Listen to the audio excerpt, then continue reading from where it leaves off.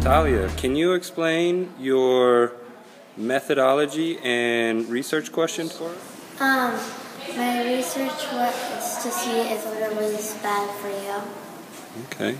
Would you recommend that Presidio students drink soda? No.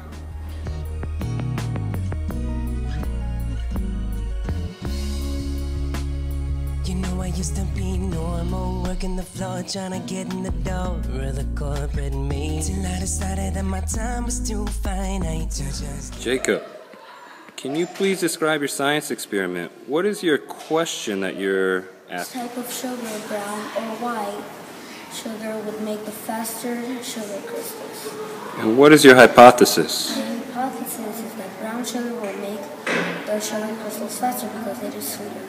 And what were your results? My results were that the white sugar crystals made their crystals faster than the brown sugar. Just give it away. And I was feeling so bored with the things that I couldn't afford. Didn't matter the more I made, the more I just wait. Here we are with the Presidio fifth grader, Journey Johnson.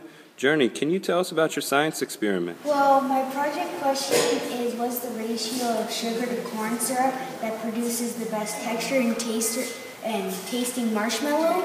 So my procedure here um, is I had to get a large mixing bowl uh, uh, water and one package of gelatin and mix it around. And then in a like a little pot on the stove, I had to have water, corn syrup, and sugar and until and when that came to a boil, pour it in the mixing bowl with the gelatin and mix that for about 11 minutes with the um, electric mixer. And once that came, after 11 minutes and it came pretty creamy, I had to pour it in a, uh, as you can see, a foil pan that has already been like greased with uh, vegetable oil and powdered sugar. And I had to pour that in. Thought that recipe two had the best texture,